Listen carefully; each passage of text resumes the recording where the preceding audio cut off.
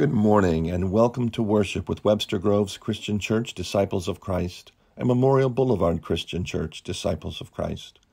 I'm Pastor Jeff Moore and I'm glad that you're worshiping with us this morning. We hope that you'll sing along with the hymns and pray along with the prayers. And we hope that you'll have communion elements, whatever is available where you are, so that you can join us later for the Lord's Supper. Again.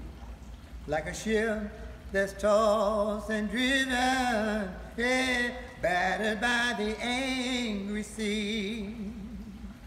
When the storms of life are raging and the fury seems to fall on me, I wonder what I have done that makes the race so hard to run. I say to myself, don't worry, no, the Lord will make a way somehow. The Lord will make a way somehow. When beneath the cross I bow, He will take away my sorrow. Just let Him have your burden now. When the weight down so heavy, the weight it shows up on my brow. Now there's a sweet relief in knowing, yes, the Lord will make a way somehow.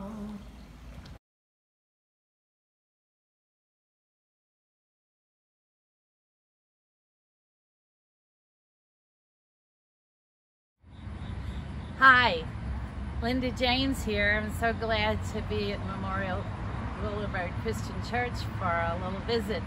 And we're also trying to greet you at the beginning of a worship service and hope that this time of worship will be a blessing to you and all of those with you. Hello, I'm John James. We're from Malvern, Arkansas, and up here visiting Memorial Boulevard Christian Church and having a wonderful time with friends and family up here. And we love them all. Good morning. I'm Beth Cooley. And I'm Eric Bloffice. We're from Webster Groves Christian Church. Welcome to morning worship. Let us pray. O God, our Maker, you have set a tongue in our mouth. It can be used to bless or curse.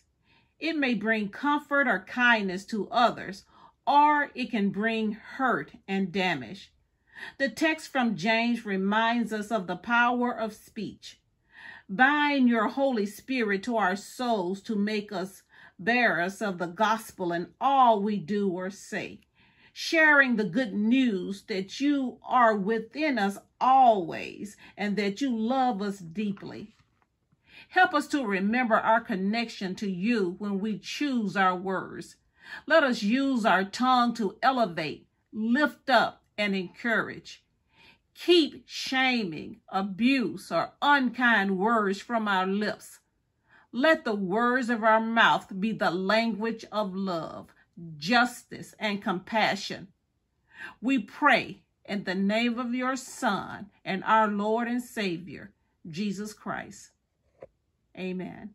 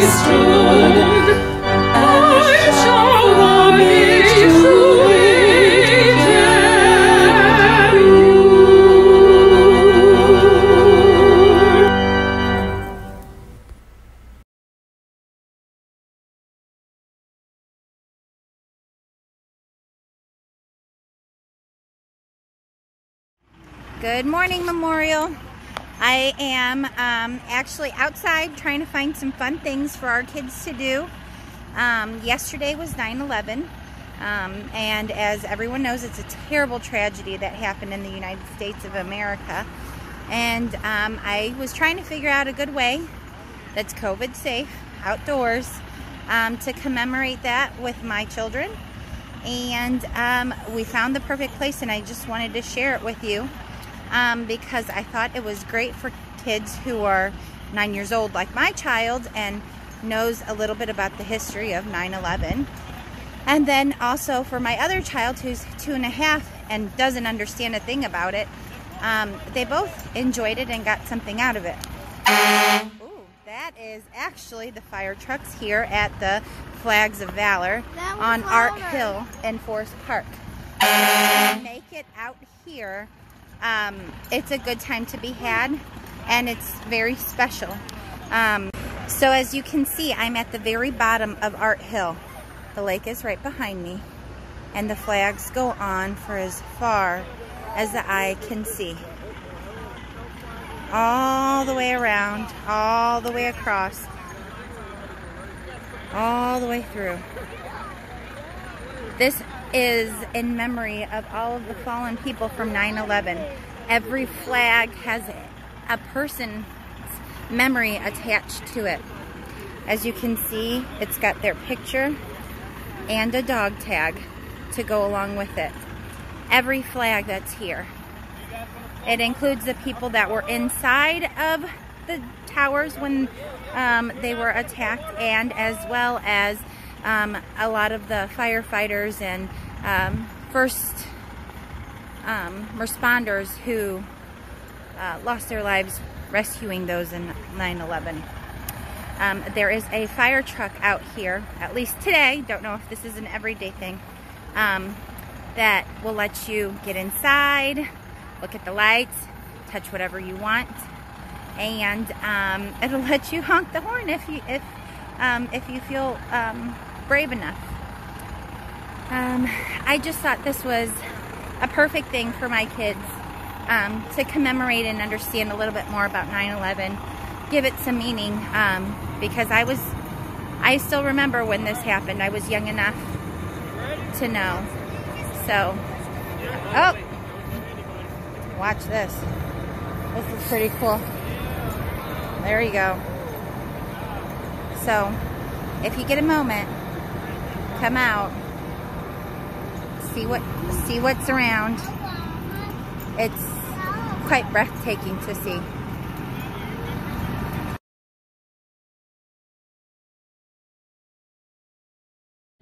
James 3, verses 1 through 12. Not many of you should become teachers, my brothers and sisters, for you know that we who teach will be judged with greater strictness. For all of us made many mistakes.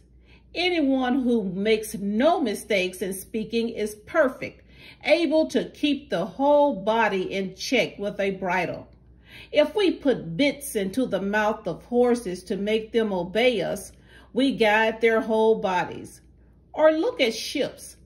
Though they are so large that it takes strong winds to drive them, yet they are guarded by a very small rudder whenever the will of the pilot directs. So also the tongue is a small member, yet it boasts of great exploits. How great a force is set ablaze by a small fire. And the tongue among our members is a whirl of iniquity. It stains the whole body, sets on fire the cycle of nature, and is itself set on fire by hell.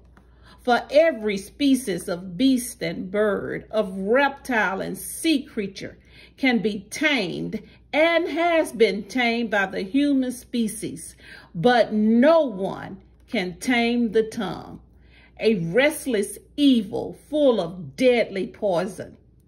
With it we bless the Lord and Father, and with it we curse those who are made in the likeness of God. From the same mouth come blessings and cursings. My brothers and sisters, this ought not be so. Does a spring pour forth from the same opening both fresh and brackish water? Can a fig tree, my brothers and sisters, yield olives or a grapevine figs? No more can salt water yield fresh.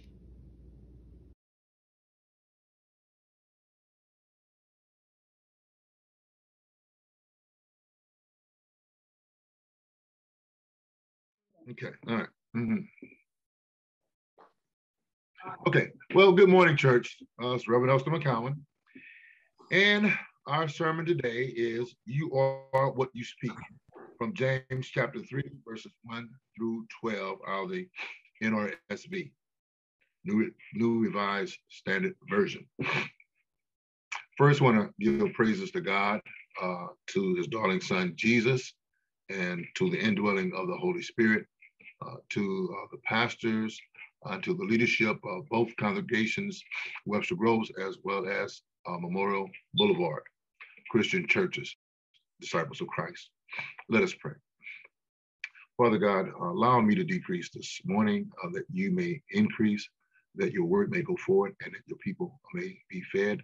Simply use me as a microphone as you allow me to be lowered down into the bosom of your wisdom and to share that wisdom, that knowledge, and that understanding with others. In Jesus' name we pray. And the people of God agree with me and said, Amen. Amen. You are what you speak. Well, you've heard the old adage that you are what you preach. Well, in today's message, we're going to talk about you are what you speak. In today's text, James, the brother of uh, Jesus Christ, says, Not many of you should become teachers, my brothers and sisters. For you know that we who teach will be judged with a greater strictness. In other words, everybody that says that they are teachers are not teachers. Everybody that says that they are preachers are not preachers. And everybody that says that they are prophets are not prophets. Uh, this particular verse in chapter 3 in the epistle written by James points out that there are people who will teach ideas, viewpoints, worldviews, and doctrines that are not consistent with the word of God. What comes to mind is a nationalist chosen people's concept that teaches, expo- espouses, and even falsely prophesies that America is God's favorite nation, only seconded by Israel. It teaches a manifest destiny theory or theology that justifies the displacement. Let me say that again. It justifies the displacement of the indigenous people, Native Americans, off their lands, lying to Asian people by telling them that our streets are paved with gold uh, in order to trick them into working on the railroads and kidnapping millions of Africans and placing them in bondage for generations to work the land. They lied, cheated, stole, and committed genocide in order to acquire. This nationalist, false, prophetic propaganda even promotes an American president as the second coming of the Son of God. The other, the other part of James' letter, addressed to all the people of God, reveals that the culprit behind this and other prophetic disasters, uh, like predicting the end of the world, uh, the culprit, uh, that small member of the body, that big boaster, uh, the forest blazer, the stainer of the whole body, that world of iniquity, that little red devil, that fiery demon, the liar, the master manipulator, the deceiver, the little hellfire, the little hellfire itself. Ladies and gentlemen, allow me to introduce you to the T-O-N-G-U, the tongue. James compares the tongue to a bit in a horse's mouth, a rudder on a ship, a small flicker that sets the entire forest to blaze. In order to describe how such a small member of our body has so much control over our future, our destinies. Gossip, slander, cursing, and lies, translated, uh, or all symptoms of a wildfire tongue. He says that anyone who can control their tongue is perfect. Yet, we all make mistakes. Our flesh does not have the power to tame the tongue. Only the Holy Spirit can. We can ask the Lord to make us more conscious of the words we speak and quickly repent of any comment that dishonors God. First John 1 and 9 says, if we confess our sins, he is faithful and just in forgiving us our sins and cleansing us from all unrighteousness. Proverbs 26 and 20 says, For lack of wood, the fire goes out, and where there is no whisper, quarreling ceases. Psalms 34 and 13 says, Keep your tongue from evil and your lips from speaking deceit. Proverbs 18 and 21 says, Death and life are in the power of the tongue, and those who love it will eat its fruits. One of my favorites is Romans chapter 10, verses 9 and 10. If you confess with your lips that Jesus is Lord and believe in your heart that God raised him from the dead, you will be saved. For one believes with the heart and so is justified, and one confesses with the mouth and so is saved. Tell me if you've heard some of these. This is an old West African proverb. It says, guard your tongue. For if you say less, you're sure to make less mistakes. No one knows a fool until he opens his mouth. Now, this is a good one on gossiping. If a dog will bring a bone, they will also carry one. When a person tells you who they are the first time, you better believe them. You can make your mouth say anything. Put your mind in gear before putting your mouth in drive. And this is a good one. Don't let your mouth write a check The other parts of your body will have to pay for it later. Now, that's not the way my uh, grandmother would say it, but that's the way I'm saying it uh, this morning. Finally, in closing, be careful of what you think because what you think becomes what you do. And what you do becomes your character. And your character is who you are because you are what you speak. I pray, God, that you got a thought. Amen.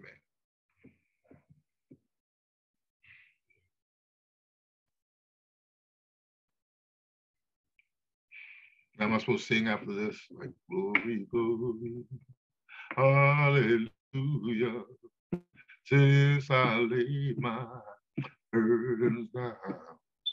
Glory, glory, hallelujah. Since I laid my burdens down. Mm-hmm. All righty.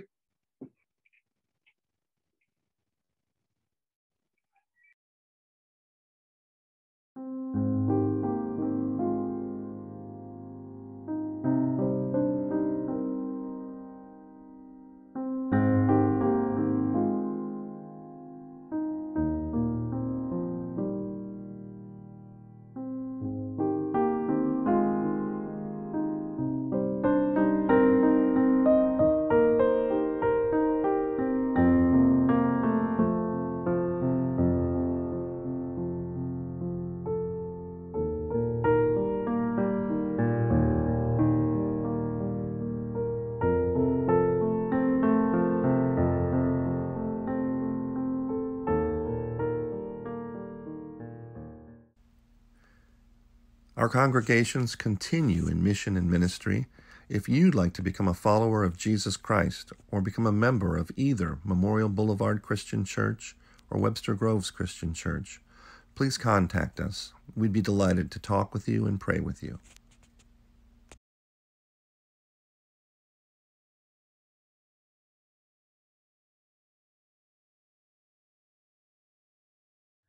Welcome to the table.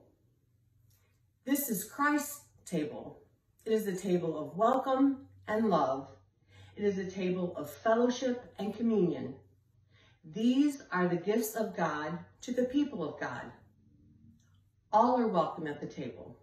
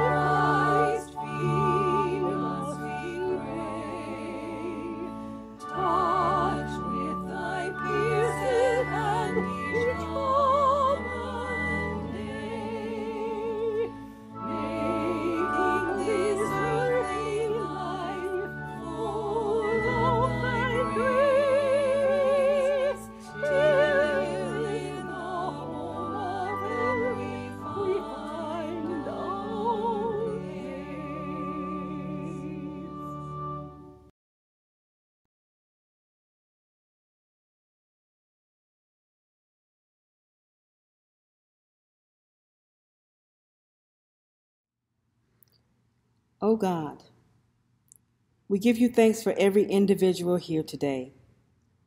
I thank you that you have allowed us another opportunity to be in your presence and give you all the honor. I pray that you will continue to instruct and teach us your ways so that we may be more Christ like. Help us to be sensitive to your voice, that we will not lean upon our own understanding but acknowledge you, God, to direct our paths. Amen.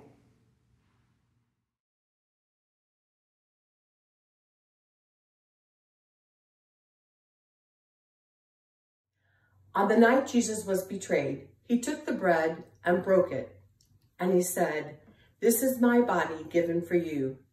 Do this in remembrance of me.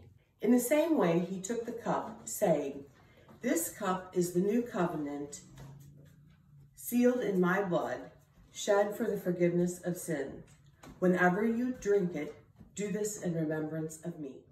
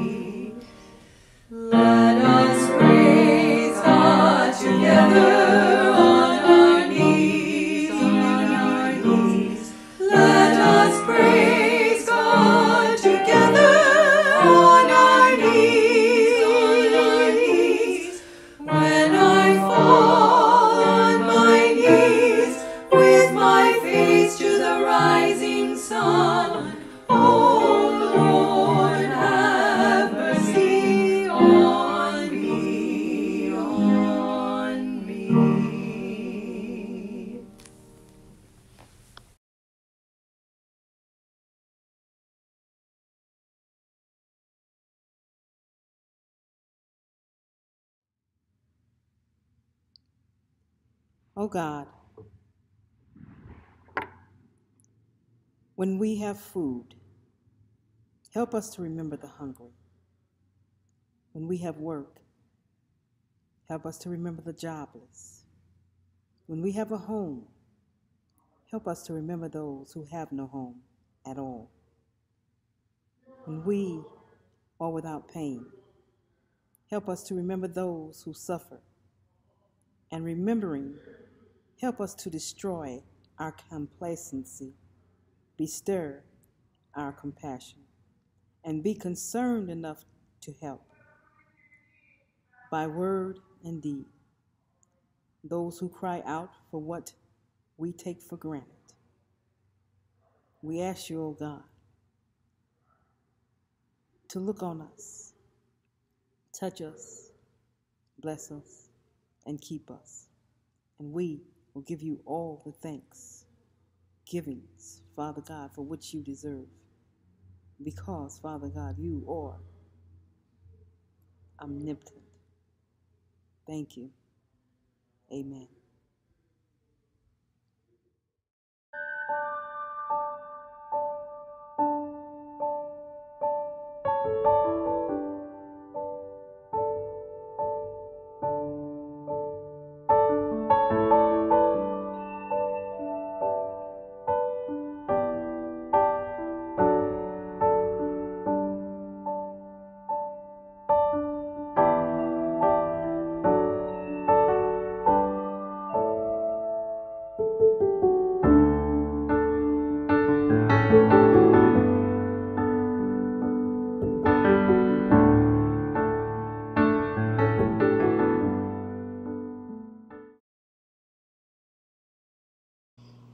Memorial Boulevard Christian Church and Webster Groves Christian Church continue to advocate for the world through the power of the Holy Spirit. We are at work through prayer, proclamation, and presence, through learning and studying and praying together and teaching, and through sharing food and shelter. We need your help. We can't do this alone. We encourage you to continue to give to your local congregations, Memorial Boulevard Christian Church and Webster Groves Christian Church. Information about giving is on the screen.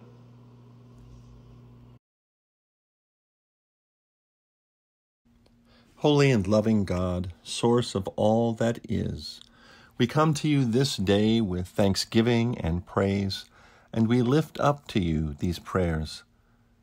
We pray a prayer of thanksgiving for our congregations, for Memorial Boulevard Christian Church, Disciples of Christ, and Webster Groves Christian Church, Disciples of Christ, for our congregation members and neighbors and friends, for our mission partners.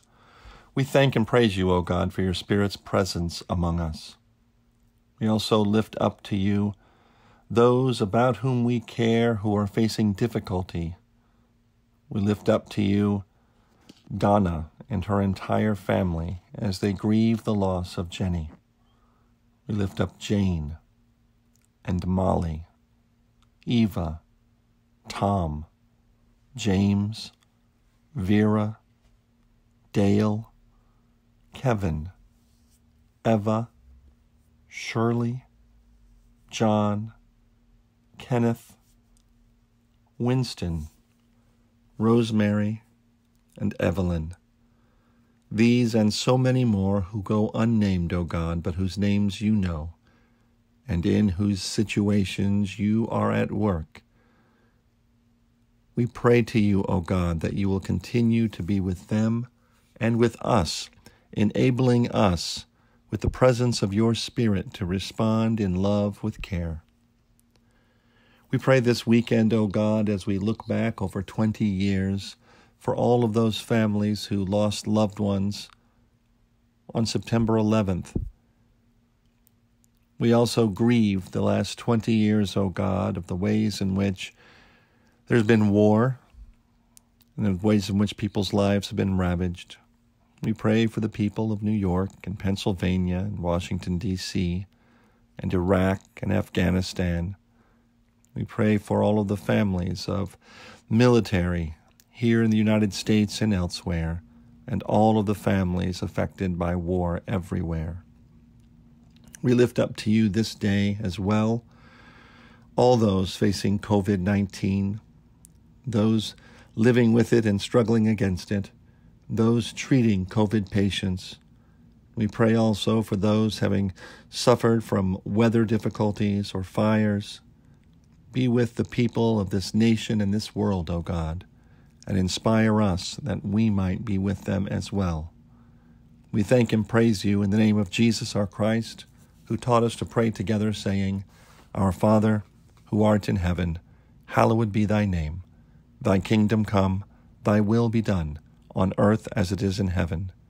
Give us this day our daily bread, and forgive us our sins, as we forgive those who sin against us.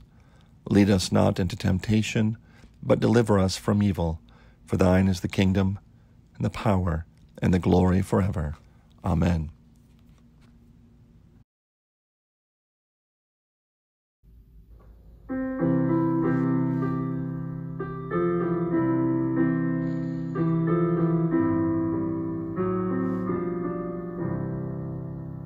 I have decided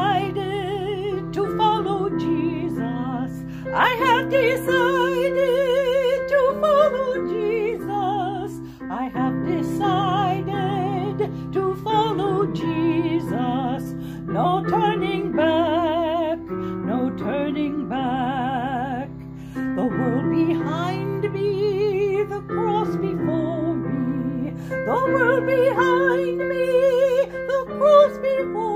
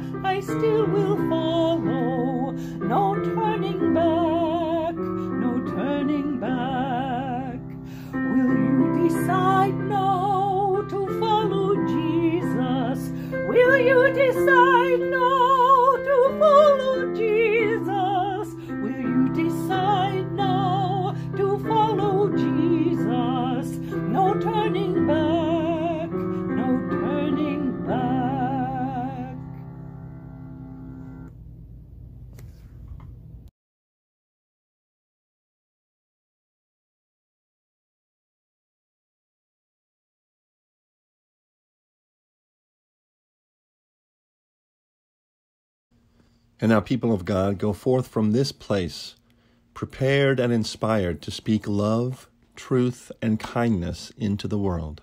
Go forth in the name of our God who creates us, redeems us, and sustains us. Amen.